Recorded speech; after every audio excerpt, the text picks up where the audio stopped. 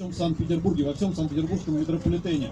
И да, и получается, что э, в проекте перераспределения средств на строительство метро в 2020 году из 6 миллиардов полтора миллиарда хотят забрать. То есть это еще отодвинет э, строительство э, метро Юго-Западное, Брестское, Сосновая Поляна. И получается, что нам сначала обещали в 22 году метро, потом нам обещали в 23 но, э, судя по всему, э, это не предел. Скорее всего, э, если мы увидим в 25 или в 26 году э, метро э, Сосновая Поляна, это будет просто здорово.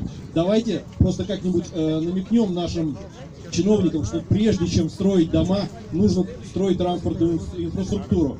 А давайте строить сначала метро, а потом дома. По-моему, это будет правильно. Мы превращаемся в гетто э, благодаря тому, что строительные компании просто набивают карман и, и все, а о людях никто не думает. Все, спасибо большое, это все, что я хотел сказать. Друзья, мы напоминаем, что нам, к сожалению, с третьей попытки согласовали лишь один час времени нашего сегодняшнего митинга. Мы спешим. Следующий выступит Людмила Приман, координатор группы за, воз- за возрождение Полежаевского парка.